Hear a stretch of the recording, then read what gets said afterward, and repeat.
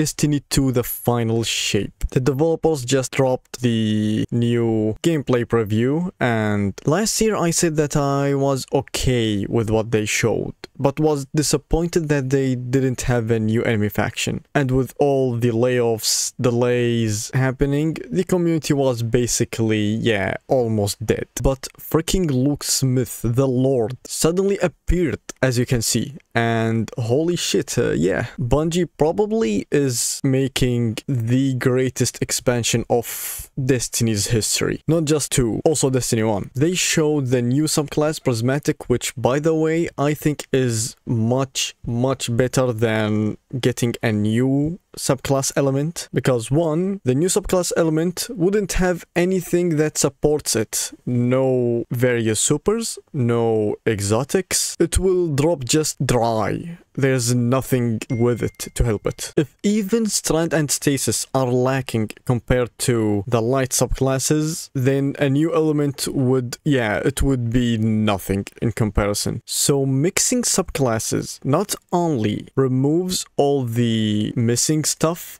from dark subclasses, but also improves them with the benefits that the light subclasses can give. So now you can actually use Grapple without having to use the Strand super. You have many supers to choose. Well, that's for hunters, as we'll talk about in a minute. But yeah, it is just so damn good that we're getting this. I am so happy this is finally happening. I was telling my friends that they should be mixing some subclasses and stuff. I was saying like why don't they mix solar and stasis together and then strand and void or arc and then the new subclass with whatever is left? But no this uh, like this idea bungie did is basically that but better. And yeah i hope in the future they start on expanding that and basically make it so they basically delete all the single element subclasses. Because i think yeah it, it is about time. We're 10 years into Destiny and it's about time we are not just using one element anymore. Just make this super mega subclass that is not really subclass at this point. It's just a class called Hunter or Titan or Warlock. And basically, yeah, just make the new elements be the new aspects, new supers, new stuff.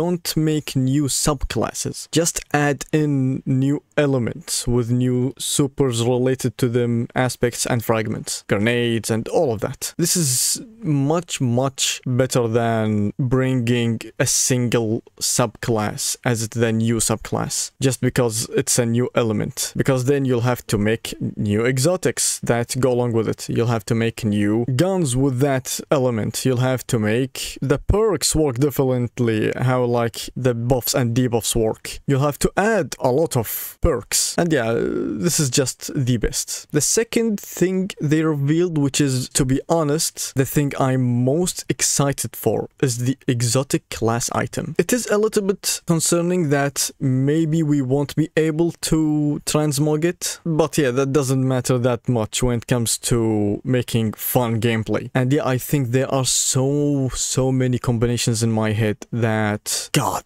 I'm already like, my brain is expanding just thinking about what I can do. So this exotic basically steals perks from not only your class's exotics, but also other classes and combines two perks in one exotic slot. So yeah, the one in my mind right now is Liar's Handshake and Wormgod Caress. If Prismatic works the way I think it works, these two probably would stack. And yeah, my 1-2 punch are gonna be, yeah, do not mess with them. Also, finally, Warlocks and Titans would be able to take Lucky Pants and use Malfeasance with it, which is one of the most fun synergies I've had in like this game's whole history. And yeah, there are so much potential in this exotic. And I think the way to go forward about this is by is with each release you can bring a new slot. So maybe the next one is a helmet that mixes two exotics. And why not make a gun out of that? I know this is ridiculous, but let's be real. The whole gameplay reveal was ridiculous. So don't even try to say I'm calling stuff ridiculous and whatever. So yeah, there's so much potential in this. And finally, the final reveal and the one I was waiting for so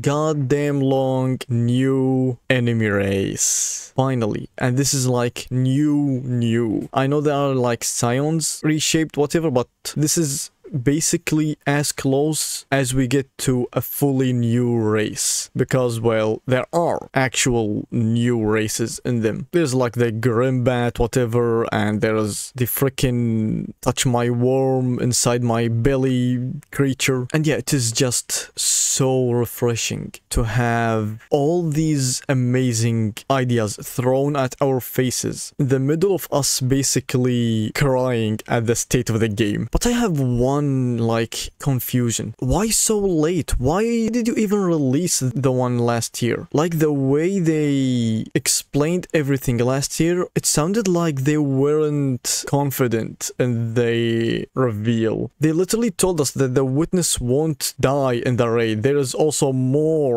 after the raid.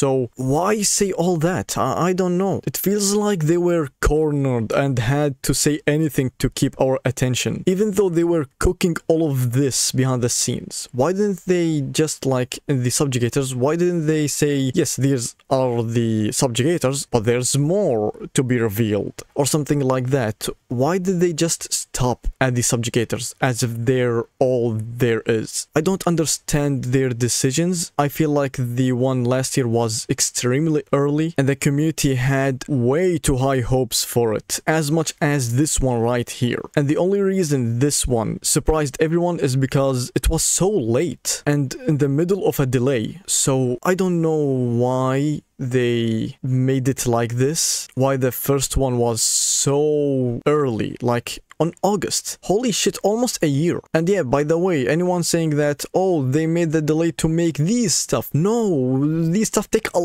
lot of time. There's no way they made all of this in just the delay. Also, don't forget, they also made the Into the Light thing. So yeah, there's no way. This was planned. And I have a feeling that Bungie is doing their usual business move of disappointing us with something they know that will disappoint disappoint us and then release something that will make us happier just to make us say that Bungie listens to us or something. Because they've done this in the past. But yeah, it doesn't matter. In the end, I'm just happy that the Final Shape is literally the biggest expansion they have ever made. The Witch Queen didn't have a new full race. Forsaken didn't have a new subclass. It was just like shitty trees, something. And the Taken King didn't have a dungeon. And even if you don't want to count dungeon because they weren't a thing in Destiny 1, well, the Taken King didn't have a legendary campaign. So yeah, this is literally biggest than all the massive expansions that we always compare everything to. Bungie delivered. Like, no matter what you think, if you're someone, because I can see a lot of people saying, oh, this is not as good as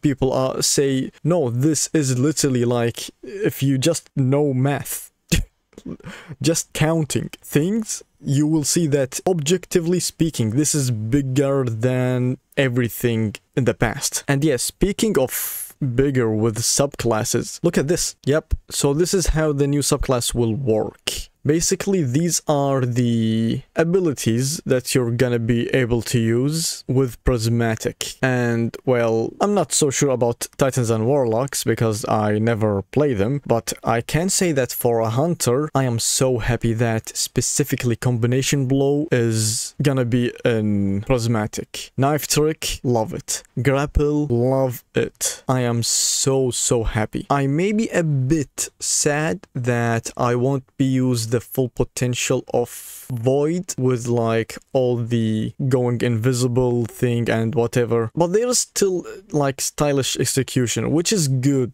in being invisible, but not always on command as the dodge and the slam. The supers are also fine. However, it is interesting that Warlocks and Titans, because their new supers are Void and Solar, they won't have Bubble and Well of Radiance, which you know that literally goes against higher difficulty content. Like you won't see anyone from Warlocks or Titans go prismatic on raid day. Hunters, yeah, we have Shadow Shot, like the debuff. Gold Gun, I, I don't remember Marksman is which one, if it's the 3 bullet or 6 bullet, but yeah, anyway. I think prismatic is for now great, but needs to be better because I don't like the idea that they're still giving attention to the older subclasses. I want prismatic to be it, like that's it. I want everything from past subclasses to go into prismatic and just delete past subclasses. If you want, you can make a single element inside prismatic. I don't want it to be, oh, you want that specific build, you need to go solar. I want solar to benefit a bit from others. And